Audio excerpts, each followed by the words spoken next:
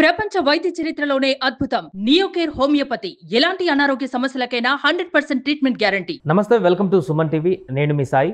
ఆంధ్రప్రదేశ్లో పౌర సరఫరాల శాఖ మంత్రిగా బాధ్యతలు చేపట్టిన నాటి నుంచి నాదన్ల మనోహర్ విస్తృతంగా పర్యటనలు చేస్తూ వివిధ గోదాంసులను పరిశీలిస్తూ అక్కడ జరుగుతున్నటువంటి అవినీతిని అందరిని కూడా బయటికి తీసే ప్రయత్నం చేస్తున్నారు. దానిలో భాగంగా తాజాగా కాకినాడలో మరొక ఈ తనిఖీలలో భాగంగా నలభై మూడు వేలకు మెట్రిక్ టన్నులకు పైగా అక్కడ బియ్యాన్ని గుర్తించారు. దాని వెనుక కీలకమైనటువంటి వ్యక్తులు ఉన్నారంటూ కూడా చెప్తున్నారు. దీనికి సంబంధించి మనం మాట్లాడదాం. మనతో పాటు Suman TV news chief editor Keshav గారు సార్ నమస్తే. నాదెండ్ల మనోహర్ గారు మంత్రిగా బాధ్యతలు చేపట్టి నుంచి చాలా స్పీడ్గా మూవ్ అవుతున్నారు. దాంట్లో తాజాగా మరొక అప్డేట్ నలభై మూడు వేల మెట్రిక్ టన్నుల బియ్యాన్ని అక్కడ గుర్తించారు కాకినాడలో.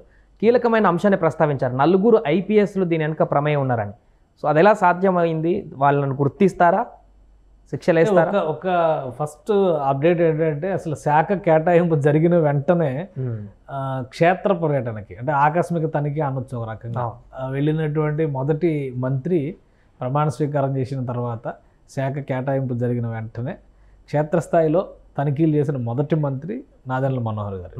తన సొంత నియోజకవర్గంలోనే ఉన్నటువంటి ఈ చౌక ధరల దుకాణాలు ఎఫ్సిఐ ముఖ్యంగా ఎఫ్సిఐ మీన్స్ అదే ఈ. బియ్యం స్టోర్ చేసినటువంటి గోదాముల్లో ఆయన చేసినటువంటి తనిఖీలు చాలా ఆసక్తికరంగా జరిగినాయి. చాలా చోట్ల ఈ తూనికలు కొలతలకు సంబంధించినటువంటి అంశాలని బయటికి తీశారు అంటే కిలో అన్న దగ్గర తొమ్మిది వందల గ్రాములే ఉంటుందని. లీటర్ అంటే ఇంకొక వంద గ్రాములు తక్కువ ఉండొచ్చని ఈ టైప్ ఆఫ్ ప్యాకేజింగ్ ఉంది అన్న విషయం ఫస్ట్ టైం ప్రపంచానికి చెప్పింది ఆయనే. తర్వాత అక్రమ బియ్యం ముఖ్యంగా పౌర సరఫరాల శాఖకు సంబంధించినటువంటి బియ్యాన్ని దొడ్డిదారిన మళ్ళిస్తున్నారు అనేటువంటి ప్రధానమైన ఆరోపణకి ఆధారాలు పట్టుకున్నారు అలానే కాకినాడ కేంద్రంగా. విదేశాలకు ఎగుమతి అవుతుంది అనేది ఆయన చేసినటువంటి ప్రధానమైనటువంటి ఆరోపణ సో దానికి తగ్గట్టుగా కాకినాడలో నలభై మూడు వేల రెండు వందల యాభై తొమ్మిది మెట్రిక్ టన్నుల ధాన్యాన్ని.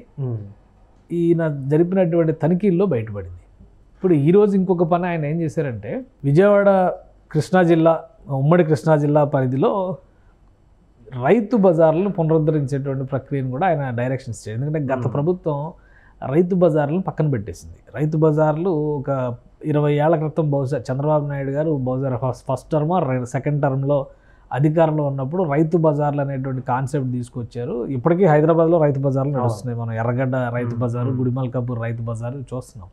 సో ఏపీలో మాత్రం గత ఐదేళ్ళలో ప్రభుత్వం ఆపేసింది రైతు బజార్లో వచ్చేటువంటి వెసులుబాటు ఏంటంటే చౌక ధరలకు కొంచెం తక్కువ ధరలకి బయట మార్కెట్ ధర కంటే కనీసం రెండు రూపాయల నుంచి ఐదు రూపాయలు తక్కువ ధరకి దొరికేటువంటి అవకాశం సరుకులు నిత్యావసరాలు దొరికేటువంటి పరిస్థితి ఉండేది. అక్కడ స్థిరీకరణ కోసం రైతు మార్కెట్ రైతు బజారు ధరల్ని ప్రభుత్వం నిర్దేశించేది. సో దానివల్ల కొంత ధరలు తక్కువ అనేటువంటి అభిప్రాయం ఉండేది. సో దాన్ని లాస్ట్ టైం లాస్ట్ గవర్నమెంట్ పక్కన పెట్టేసింది. ఇప్పుడు రైతు బజార్ల పునరుద్ధరణ మోడర్న మోడర్నైజేషన్ని మనోహర్ గారు తన పర్సనల్గా ఆయన ఆ మినిస్ట్రీ ద్వారా డెవలప్ చేయాలనేటువంటి దీనిలోకి వచ్చారు కాబట్టి విజయవాడలో ఫస్ట్ టైము ఆ చౌక ధరలకి సంబంధించి కందిపప్పు అలానే బియ్యం పంచదార ఇవి కూడా రాబోయే రోజుల్లో సప్లై చేస్తాను. ఆ కేంద్రాన్ని ప్రారంభించారు. ధరల స్థిరీకరణకి సంబంధించి వర్తకులతో ఒక సమావేశాన్ని కూడా నిర్వహించారు. ఉమ్. సో ఈ సందర్భంలో ఆయన చేసినటువంటి సీరియస్ కామెంట్ సీరియస్ ఎలిగేషన్ ఏంటంటే నలభై మూడు వేల మెట్రిక్ టన్నులు పట్టుబడినటువంటి కాకినాడ కేంద్రంగా జరిగిన ఈ పౌర సరఫరాల శాఖ బియ్యానికి సంబంధించినటువంటి అక్రమాలకు సంబంధించి నలుగురు కీలకమైనటువంటి ఐపీఎస్ అధికారులు ఇందులో ఉన్నారంటున్నారు. అంటే ఐపీఎస్ అధికారులు ఇందులో ఎందుకు ఉంటారు? ఎందుకంటే పౌర సరఫరాల శాఖకు సంబంధించి చూస్తే కనుక అడ్మినిస్ట్రేషన్ పరంగా ఐఏఎస్లు ఉండొచ్చేమో కదా అని. డౌట్ మనకు రావచ్చు. కాకపోతే ఏంటంటే వాళ్ళు ఒక చైన్ సిస్టమ్ని డెవలప్ చేసుకున్నారు.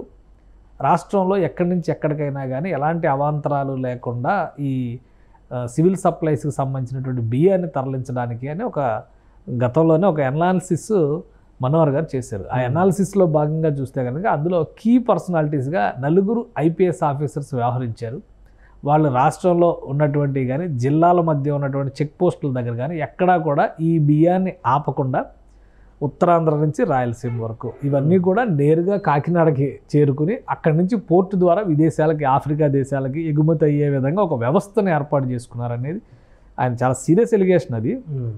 అంత ఆధారాలు లేకుండా చేసేస్తారు ఒక మంత్రి స్థాయిలో ఉన్న వ్యక్తి అనుకోవడానికి వీల్లేదు కాబట్టి ఒక ఫైర్ బ్రాండ్ మినిస్టర్గా మారిపోయారు ఇప్పుడు నాదెండ్ల మనోహర్ గారు. ఆయన చెప్పారు కాబట్టి ఖచ్చితంగా దీనికి సంబంధించి అతి త్వరలోనే వాస్తవాలు ఏంటి అనేది బయట పెట్టేటువంటి అవకాశం ఉంటుంది. అండ్ ఇంకొకటి వారి పేర్లు ఏంటో కూడా వెల్లడించలేదు. అండ్ ఒకవేళ అది నిజమే అయితే ఐపీఎస్ల పైన చర్యలు తీసుకునేటువంటి అవకాశం ఉంటుందా? ఖచ్చితంగా చర్యలు తీసుకోవడానికి అవకాశం ఉంటుంది. ఎందుకంటే డిపార్ట్మెంటల్ ఎంక్వైరీ అయ్యే వరకు వాళ్ళని సస్పెన్షన్లో పెట్టొచ్చు. ఆధారాలు ఏమన్నా పక్క ఆధారాలు కనుక దొరికితే ఇంకా సీరియస్ యాక్షన్ తీసుకోవచ్చు. అవసరమైతే వాళ్ళ ఐఏఎస్ ట్రిబ్యునల్కి కూడా రికమెండ్ చేయొచ్చు. వాళ్ళని ఎందుకు పదవి నుంచి తప్పించకూడదనే దాని మీద. ఒకవేళ ఇది ఇది ఇందులో కనుక అవినీతికి సంబంధించి అంటే నగదు లావాదేవీలు ఉన్నా మనీ లాండరింగ్ లాంటివి ఏమైనా ఉన్నాయనుకోండి ఇంకా అది ఇంకా పెద్ద క్రైమ్ అవుతుంది. సో ఎలాంటి పరిణామాలైనా కానీ దారితీయచ్చు అయితే ఒక అధికార యంత్రాంగానికి పాలనా వ్యవస్థల్లో ముఖ్యంగా లెజిస్లేచర్కి ఒక సన్న గీత ఉండేది. ఆ గీత గత ప్రభుత్వం చెరిపేసింది అనేది మనోహర్ గారు చెప్తున్నటువంటి మాట. అందుకనే వీళ్ళు మంత్రుల స్థాయిలో ఉన్నవాళ్ళు చెప్పిన మాటలు వింటే వాళ్ళ అడుగులకు మడుగులు ఎత్తితే మనకి భవిష్యత్తు బాగుంటుంది అనే ఆలోచనతో కొంతమంది అధికారులు నేలబారు ప్రవర్తనతో వ్యవస్థలను ధ్వంసం చేశారు అని చెప్పి అంటున్నారు. సో వాళ్ళు ఎవరు ఎందుకు చేశారు దానికి కారణాలు దానికి ఉన్నటువంటి ఆధారాలు బయటకు వస్తే ఖచ్చితంగా ప్రభుత్వం చర్యలు తీసుకోవడానికి అవకాశం ఉంటుంది. ఒకవేళ వాళ్ళ సర్వీస్ నిబంధనలకు విరుద్ధంగా ఉన్నారంటే కనుక రద్దు చేసినా కానీ ఆశ్చర్యపోవాల్సినటువంటి అవసరం లేదు. కానీ రాష్ట్ర వ్యాప్తంగా లక్ష మెట్రిక్ టన్నులకి సంబంధించినటువంటి ధాన్యం పక్కదారి పట్టేసింది. అతి చౌక ధరకి రాష్ట్ర ప్రభుత్వం ధాన్యాన్ని సేకరించి ప్రజలకి అందించాల్సినటువంటి ప్రభుత్వం అది పక్కదారిలో వేరే మార్గాల్లో విదేశాలకు ఎగుమతి పోయే విధంగా సహకరించింది. చాలా సీరియస్ ఎలిగేషన్ ఇది. లక్ష మెట్రిక్ టన్నులు అనేది మామూలు విషయం. ఒక్క కాకినాడలోనే నలభై మూడు వేల మెట్రిక్ టన్నులు దొరికినాయి. మిగతా అంతా ఎంత అనేది లక్ష మెట్రిక్ టన్నుల వరకు ఉందనేది చెప్తున్నారు లెక్క. సో చాలా సీరియస్ క్రైమ్ కింద దాన్ని కన్సిడర్ చేయడానికి అవకాశం ఉంటుంది. ఇంకోటి రైతులకు సంబంధించి లెవీ బియ్యం సేకరణ ద్వారా ఆరు వందల కోట్ల రూపాయలు బకాయిలు పెట్టింది గత ప్రభుత్వం. ఆ స్టేట్మెంట్ కూడా దానికి సంబంధించి కూడా ఆయన క్లారిటీ ఇచ్చారు. వీలైనంత త్వరగా వాళ్ళకి ఆ రైతులకి ఇవ్వాల్సినటువంటి ఆ బకాయిలు మేము చెల్లిస్తాం అనేటువంటి మాట మనోహర్ గారు చెప్పారు.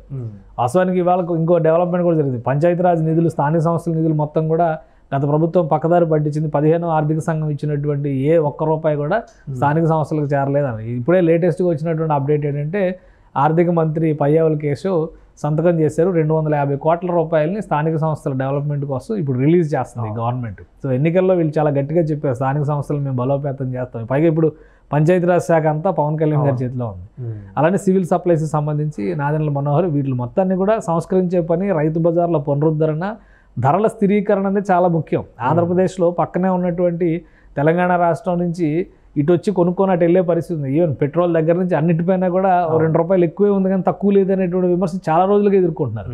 సో వీటన్నిటిని కూడా స్థిరీకరణ చేయాలంటే కనుక ఒక స్పష్టమైనటువంటి విధి విధానాలు రావాల్సినటువంటి పరిస్థితి ఉంది. ప్రభుత్వ జోక్యం అవసరం. ముఖ్యంగా మార్కెట్ మెకానిజం అనేది చంద్రబాబు నాయుడు గారు గతంలో కూడా చాలాసార్లు చెప్పేవాళ్ళు. బయట ఎంత ధరలు పెరిగినా కానీ సామాన్యుడికి అందుబాటులో ఉండేలాగా ధరలను చూడాల్సినటువంటి బాధ్యత ప్రభుత్వాలపైన ఉంది అనేటువంటి మాట చెప్పేవాళ్ళు.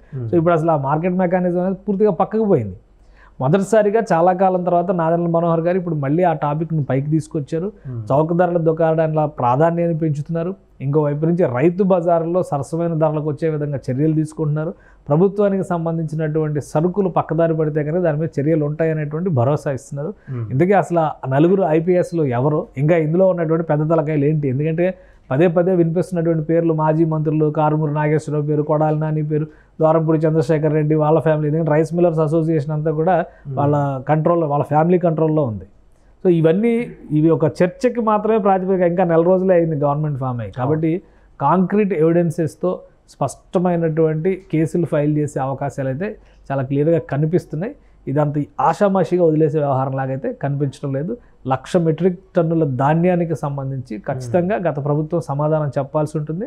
తప్పులకు పాల్పడిన వాళ్ళు బాధ్యులు ఎవరైనా ఉంటే కనుక శిక్షలు కూడా అనుభవించాల్సిన పరిస్థితి ఖచ్చితంగా ఉంటుంది. రైట్ సార్ సో అది ప్రస్తుతం తాజాగా మరొకసారి నాదెండ్ల మనోహర్ గారు చేసినటువంటి తనిఖీలలో భాగంగా నలభై మూడు వేల మెట్రిక్ టన్నులకు పైగా బియ్యాన్ని గుర్తించారు గోదాములలో. దీని వెనుక నలుగురు ఐపీఎస్లు ఉన్నారంటూ కూడా ఒక కీలకమైనటువంటి వ్యాఖ్యలు చేశారు. వారెవరు? అసలు ఇంకా ఎంతెంత అక్రమ దారి పట్టింది బియ్యం అంతా కూడా పూర్తి స్థాయిలో దర్యాప్తు చేసేటువంటి పరిస్థితి నెలకొంది. సుమన్ టీవీలో మీ పర్సనల్ అండ్ బిజినెస్ ప్రమోషన్స్ కోసం కింది నెంబర్కి కాంటాక్ట్ చేయండి.